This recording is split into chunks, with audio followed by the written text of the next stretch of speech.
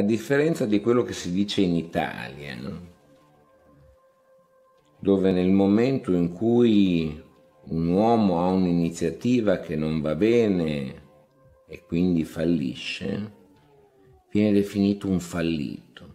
L'assurdo in base al quale un'iniziativa fallita fa sì che i terzi attribuiscano al soggetto che ha fatto l'iniziativa il termine di fallito, l'assunzione da parte della persona del termine fallito in conseguenza di, una, di un'iniziativa che non è andata bene.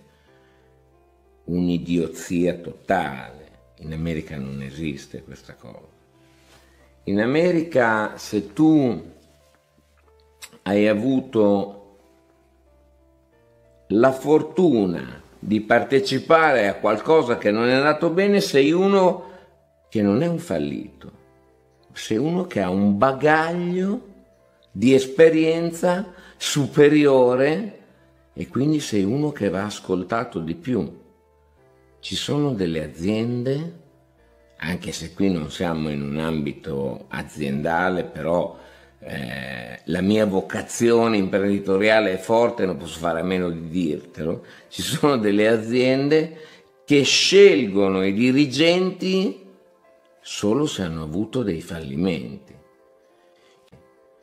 Cioè, in Italia a volte si fanno dei gesti tipo questo, tipo delle robe scaramantiche verso chi ha avuto un fallimento e invece in America lo si cerca, è incredibile. Comunque io eh, ho avuto la fortuna e il privilegio di dover attingere alla resilienza molte volte.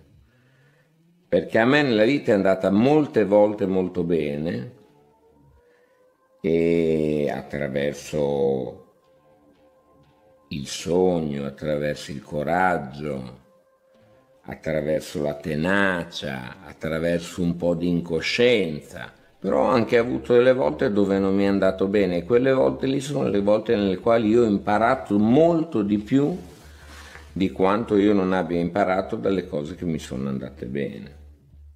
Essere resilienti ti dà sostanzialmente la capacità di poter fare qualunque cosa. Perché quando tu diventi inattaccabile perché qualunque cosa ti possa succedere, il tuo animo reagirà in modo tale da assorbire questo colpo, elaborarlo e trasformarlo in un'esperienza positiva, sei invincibile.